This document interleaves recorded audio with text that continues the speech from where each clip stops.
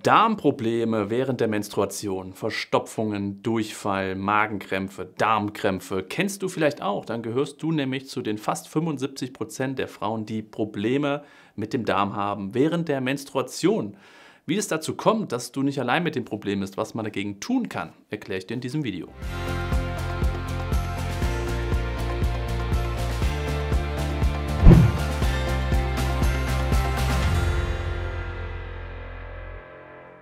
Drei von vier Frauen circa haben das Problem Blähungen, Magenkrämpfe, Darmkrämpfe, Durchfälle während oder auch vor der Menstruation. Das ist sehr häufig und vielleicht geht es dir ja so wie vielen anderen Frauen. Man spricht nicht so gerne drüber und deswegen denkt man sich oft selber, bin nicht ganz normal, irgendwas scheint nicht zu stimmen.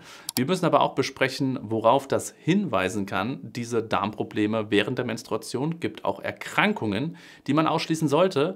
Aber ich werde hier auch mal kurz skizzieren, warum du kurz vor, während und auch nach der Periode Probleme hast mit dem Darm. Wenn sehr viele Frauen betroffen sind und weniger Männer von irgendeinem Symptom, was immer wiederkehrend ist, dann kannst du dir einmal eins auch selbst zusammenzählen, mag irgendwas mit Hormonen zu tun haben. Und so ist es auch. Welche Hormone da beteiligt sind, erkläre ich dir jetzt. Wenn wir uns den Zyklus nochmal anschauen, ist ja ein relatives Hoch und Runter von verschiedensten Hormonen. Östrogen geht am Anfang hoch, dann kommt der Eisprung mit einem hohen LH-Peak. Danach kommt ein Hormon, was sich Progesteron nennt, das Gelbkörperhormon. Gerade die zweite Zyklusphase ist sehr progesteronlastig. Progesteron, das wissen wieder viele Schwangere, denn es ist das Schwangerschaftshormon, haben mit Verstopfungen zu kämpfen. Das liegt daran, dass Progesteron als Hormon nicht nur wichtig ist für den Schwangerschaftserhalt, es hat auch viele andere Funktionen im Körper. Kann ich dir hier gerne mal eine Tabelle einblenden, was Progesteron alles so leistet.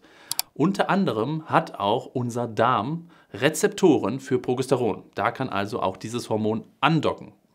Kleines Problem ist nur, dass Progesteron den Darm quasi lahmlegt. Deswegen haben viele, viele Schwangere mit Verstopfungen zu kämpfen. Jetzt haben wir aber anfangs gesagt, wir wollten ja eigentlich was ganz anderes besprechen, nämlich Durchfälle. Gucken wir uns nochmal den Zyklus an. Wie sieht es nämlich am Zyklusende aus mit dem lieben guten Progesteron, wenn keine Schwangerschaft eintritt? Die Blutwerte stürzen quasi wirklich im freien Fall ab. Also gibt es für den Darm nun den Impuls, oh, ich bin sehr träge, ich bin sehr träge und auf einmal wird quasi der Darm enthemmt, denn Progesteron fällt sehr schnell weg. Also hat er so eine Art überschießende Reaktion. So stellt sich die Wissenschaft jedenfalls vor. In der Konsequenz wird der Darminhalt schnell Richtung Ausgang befördert, was auch schon mal zu Durchfällen führen kann. Jetzt gibt es aber noch ein anderes Hormon und das ist ein Gewebshormon. Bei Progesteron wissen wir und auch bei Östrogen, da kennen wir die Drüsen, die das ausschütten. Die sind irgendwo fest im Körper verankert. Gewebshormone, wie zum Beispiel Prostaglandine, die kommen in Geweben vor. Es sind trotzdem auch Hormone. Das Schöne am Prostaglandin ist, Frauen benötigen das. Ich benötige das auch. Prostaglandine haben nämlich wahnsinnig viele und wichtige Aufgaben. Es gibt Prostaglandine, die auch mit dem Periodenschmerz zu tun haben weshalb man auch einen Prostaglandinüberschuss vermeiden sollte. Hierzu habe ich ein Video gemacht. Das dürft ihr euch hier oben gerne mal anschauen, wenn ihr dieses Video geschaut habt. Die Prostaglandine fördern zum Beispiel auch den Schmerz oder auch Fieber aber sie haben eben auch Wirkungen auf glatte Muskulatur. Wenn ich meinen Bizeps hier anspanne, den ich nicht habe, dann ist das quergestreifte Muskulatur. Ich kann sie nämlich willkürlich bewegen, genauso wie meine Augen, wie mein Hals etc. Probier du mal deinen Darm bewusst anzusteuern oder deine Gebärmutter. Das wäre für viele Frauen während der Geburt mal nicht schlecht, einfach zu sagen, mal kurz Pause, es geht nicht. Genauso wenig, wie man das Herz großartig beeinflussen kann, dass es jetzt mal aufhören soll zu schlagen. Gott sei Dank geht das nicht. Prostaglandine haben also auf die glatte Muskulatur einen Effekt, und zwar denjenigen, dass sich Muskulatur zusammenzieht. Genau das passiert während der Periode, denn hier wird Prostaglandin ausgeschüttet, denn der Körper braucht das Prostaglandin, um die Schleimhaut, wenn keine Schwangerschaft eingetreten ist, loszuwerden also dieses Krampfen zu verursachen. Man kann sich jetzt auch vorstellen, wenn ich viel Prostaglandin habe, wird die Muskulatur sehr, sehr viel stimuliert.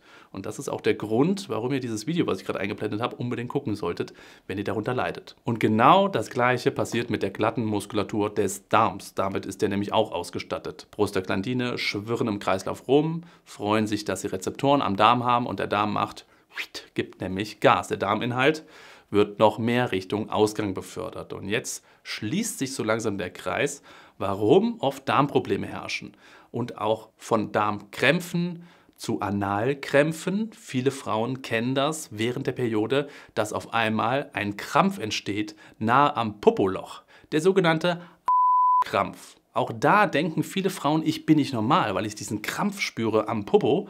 Aber es ist völlig normal. Und jetzt hast du auch die Erklärung, es sind die lieben guten Prostaglandine. Und nicht nur diese beiden Hormone, sondern auch viele andere Hormone haben Einfluss auf die Darmperistaltik. Ich erinnere dich mal, wenn du das letzte Mal ziemlich aufgeregt warst, was passiert dir vorher? Du musst ständig aufs Klo gehen. Entweder musst du die ganze Zeit pinkeln oder sogar etwas anderes oder du hast sogar Durchfall oder Magenkrämpfe. Adrenalin, Noradrenalin, all das hat Einfluss auf die glatte Muskulatur des Darms. Und das hat auch alles einen evolutionären Hintergrund, den ich jetzt glaube ich auch nicht erläutern muss, wenn man in einer stressigen Phase ist, vor eine Horde Wölfe weglaufen muss, dann entleeren sich tatsächlich so manche Därme. Und nicht nur die Därme, sondern auch die Blasen. Vielleicht hattest du mal als Kind einen großen Schreckensmoment, hattest vor etwas ziemlich Angst. Es kann sein, dass sich solche Kinder und auch Erwachsene dann einnässen. Das heißt, der Körper will allen Ballast loswerden, um Flucht zu generieren oder die Flucht vorantreiben zu können. Das nur mal so als evolutionären Hintergrund hat jetzt mit der Periode erstmal nicht viel zu tun. Jetzt muss ich aber noch eins erwähnen, wenn es um Darmprobleme während der Periode geht oder auch wenn es um heftigen Menstruationsschmerz geht. Bitte, bitte behaltet im Hinterkopf, es könnte auch ein Symptom der Endometriose sein. Findet ihr hier auf dem Kanal viele Videos und auf Instagram bei meinem Kanal noch mehr Infos zu, was es genau mit der Endometriose, der Adenomiose und dem Darm so zu tun hat und auf sich hat. Hast du also das Gefühl, Leute, das also was er erklärt hat, macht alles Sinn, aber das geht über das hinaus, was ich jetzt als normal erachte, dann sprich bitte deine dünn an, denn es könnte tatsächlich auch ein Symptom der Endometriose sein. So, große Frage, was kann ich dagegen tun? Kriege ich das irgendwie gewuppt, dass das nicht so heftig ist? Maybe. Und da gibt es einige Ansätze, die du dir auf jeden Fall mal anhören solltest. Und klar, gibt es so ein paar Akuttipps, die man jetzt sagen kann. Wärme auf dem Bauch.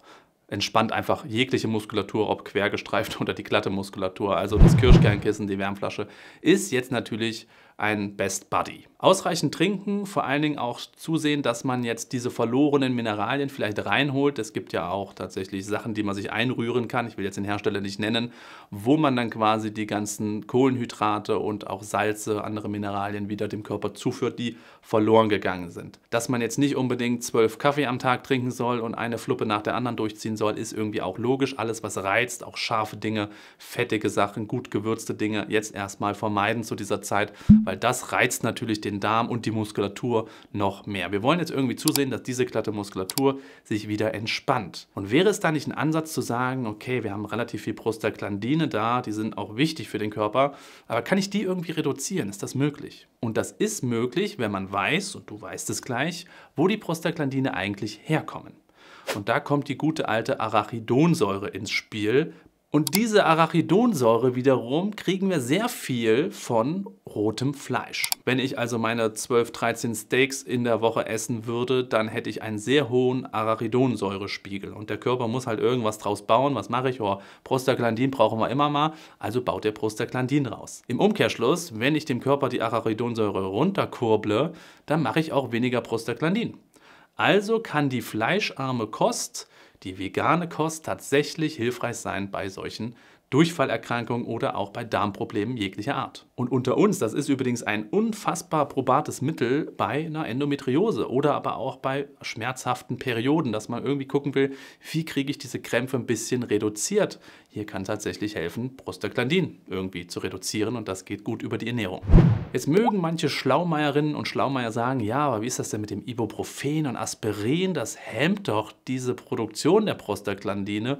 Ja, das stimmt. Und wenn man heftigste Schmerzen hat im Darmbereich, könnte man auch mal zu einer Ibuprofen greifen. Ist aber absolut nicht erste Wahl, weil auch die haben Nebenwirkungen und auch die können wieder dazu führen, dass man Magen- und Darmprobleme bekommt durch das Medikament, was eigentlich helfen soll. Also wollen wir ballaststoffreich, möglichst pflanzlich, die beiden passen sehr gut zusammen, denn pflanzliche Kost ist ballaststoffreich, uns ernähren und viel trinken, um diese Rehydratation zu gewährleisten. Das sind schon mal drei gute Punkte. Dann gibt es die sogenannte Stopfkost. Vielleicht hast du da davon auch schon mal gehört. Zwieback, Reis, Kartoffeln sind so Klassiker, die einfach auch Wasser binden und dadurch den Darm ein Stück weit entlasten können. Also auch hier ernährungstechnisch haben wir schon mal einen Fuß in der Tür. Probiotika, also dem Darm das geben, was er braucht, gute und schöne Keime für die Darmflora. Es gibt nur begrenzte Evidenz, also nicht den krassen wissenschaftlichen bewiesenen Nutzen, aber es schadet auch nicht und deswegen kann Probiotika überhaupt auch eine gute Idee sein, wenn man seine Vaginalflora aufbauen will und auch dem Darm was Gutes tun will.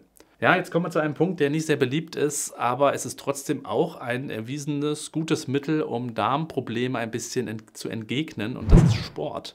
Ich weiß, viele haben jetzt vor allen Dingen während der Periode oder auch während man Darmprobleme hat, nicht die große Lust und auch nicht die Motivation, äh, da jetzt irgendwie noch groß Sport zu machen. Aber vielleicht ist es ja auch schon der Spaziergang an der frischen Luft, der ein bisschen Bewegung, Wärme, Durchblutung reinbringt, damit der Darm ein wenig ruhiger ist. Ernährung und Zyklus hat es dir angetan, sehe ich dir sofort an, darfst du dir gerne das Video hier oben anschauen. Endometriose, Riesenthema, das Video kannst du dir hier unten anschauen. Und das Wichtigste, was du jetzt noch machen solltest für dich selbst, für, für mich und für alle anderen, das das ist ein Abo dalassen, denn so hilfst du mir, euch mehr zu helfen, damit ihr euch selbst besser helfen könnt. Wir sehen uns bis zum nächsten Mal und tschüss.